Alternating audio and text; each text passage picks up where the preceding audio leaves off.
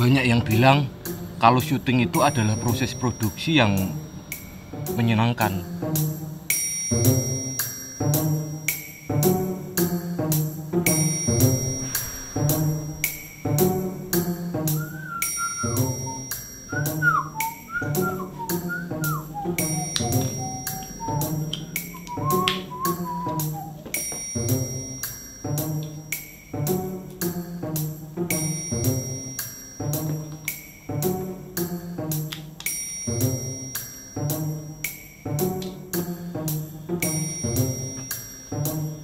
Ya, katanya syuting itu proses produksi yang menyenangkan.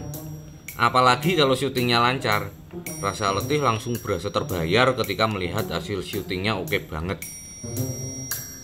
Pengennya sih selesai syuting langsung edit, langsung publish. Kalau videonya simple sih bisa cepet ya proses editingnya. Tapi kalau sudah berurusan dengan footage abrek dan konsep videonya ribet, kadang yang bikin lama justru bukan editingnya, tapi memulai editingnya atau ngumpulin mood buat mulai ngedit.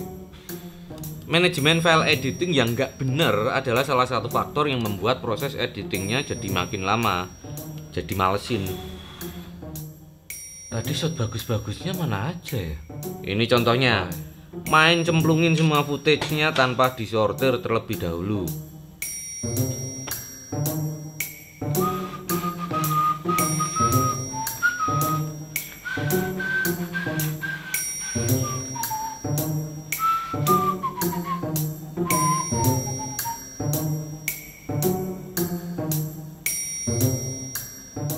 Enggak, enggak, enggak bisa gitu. Bahkan force power Yoda pun nggak bakal bisa mempercepat proses editing kalau persiapan editingmu nggak maksimal.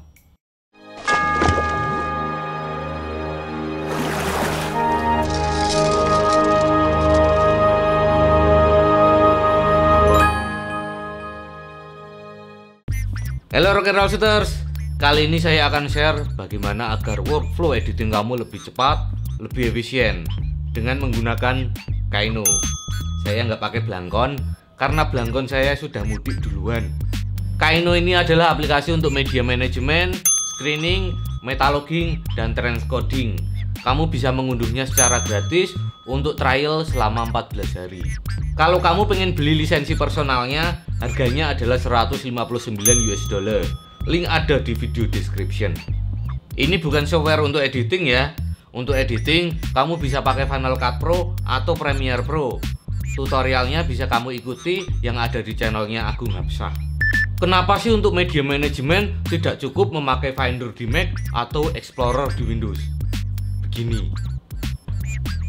Di Kaino, kamu bisa view as grid, as list, atau as detail. Di view as grid dan list, kamu bisa mensortir dengan lebih spesifik antara file video, audio, dan images berdasarkan waktu, aspek ratio, rating, frame rate. Bahkan kamu bisa memfilternya dengan lebih spesifik lagi. Misalnya kamu mencari video yang sudah kamu kasih rating 5 dengan kodek ProRes, resolusi 4K, dan frame rate 50 frame per second. Bala, ketemu kan? Kamu bahkan bisa memperlihatkan isi dari semua subfolder dengan fitur drill down. Klik kanan atau secondary klik pada folder di bagian navigator ini.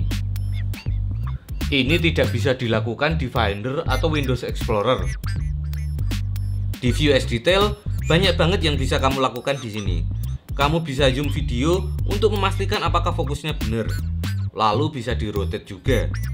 Fitur rotate ini kepake jika misalnya kamu syuting dengan glide cam yang dibalik agar bisa mendapatkan low angle atau memakai DJI Ronin yang kameranya dibalik agar mendapatkan eye level. Kepake banget. Dengan filter zebra ini, kamu bisa memastikan apakah footage-nya wash out atau tidak pada bagian highlight. Penting kalau kamu syuting dengan lock profile atau flat gamma profile. Ada juga fitur widescreen untuk ngecek apakah shot kamu benar bisa dipakai untuk cinemascope aspek ratio atau tidak. Waktu preview, kadang kita menemukan banyak bagian penting dari sebuah shot yang ingin kita edit. Mungkin itu adalah sebuah video dokumentasi panjang yang nggak boleh dikat waktu syuting atau shot sebuah video klip musik. Misalnya, jika ini adalah shot utuh dari sebuah musik video, kita bisa menambahkan beberapa marker untuk menandakan kapan rap 1 dimulai, interlude, dan lain-lain.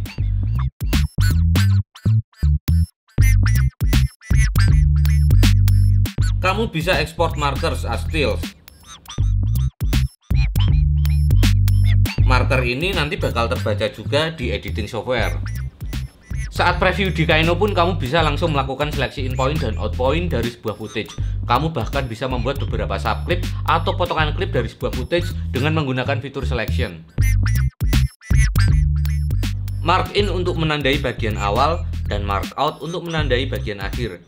Kemudian create subclip from selection.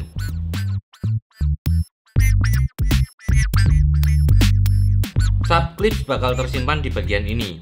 Bisa langsung kamu ekspor ke berbagai format, misalnya ke ProRes biar editingnya enteng.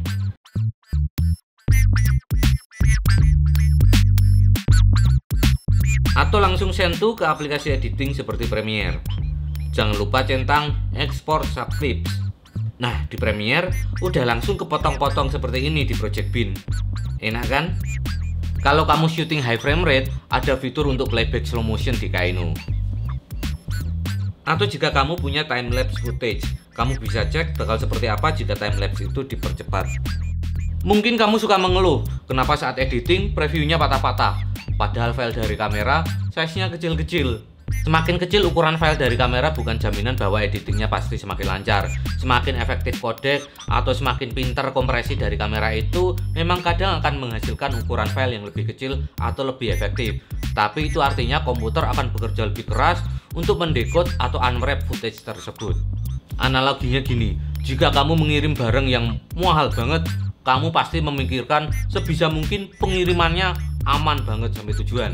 Mungkin kamu bakal kasih bubble wrap, bungkus plastik, selotip sebanyak mungkin, bahkan kasih packaging kayu. Aman sih sampai tujuan, tapi si penerima barang bakal kerepotan untuk membuka isi paket kamu. Nah, kalau seperti saya yang pakai Mac, saya akan memakai native codec seperti Apple ProRes agar editingnya lancar. Dan komputer nggak perlu mikir berat untuk unwrap footage.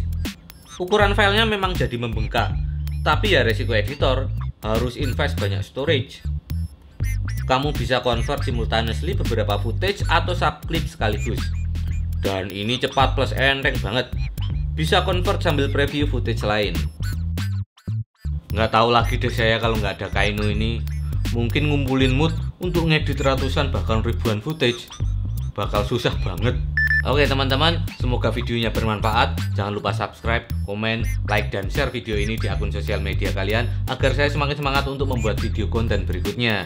Selamat Hari Raya Idul Fitri untuk teman-teman yang merayakan. Mohon maaf lahir batin, saya lanjut ngedit dulu.